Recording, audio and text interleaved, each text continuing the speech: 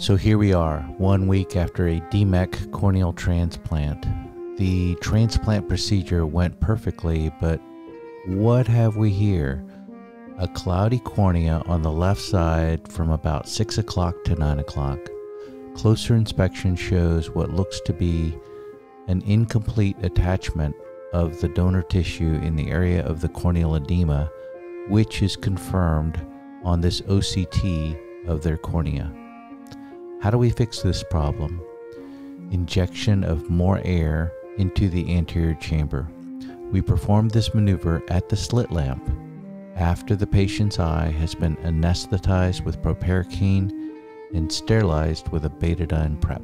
Using a 30 gauge needle on a 1 cc syringe, we carefully enter the anterior chamber anterior to the iris and posterior to the area of donor detachment. We then inject air into the anterior chamber. The air fill will push the donor tissue that is detached into contact with the patient's cornea. We then measure the patient's intraocular pressure, which is noted to be high at about 65 millimeters of mercury.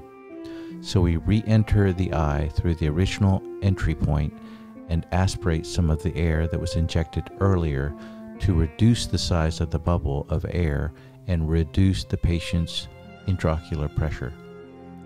The lower meniscus of the air bubble is now above the peripheral iridotomy at 6 o'clock that was created at the time of the DMEK procedure. The intraocular pressure is now approximately 30 millimeters of mercury, which is acceptable for this patient.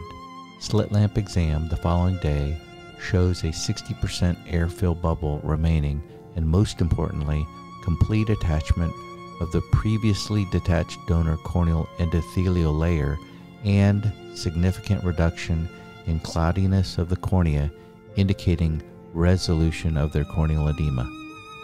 Thank you for your time and attention. I hope this video was helpful and have a wonderful day.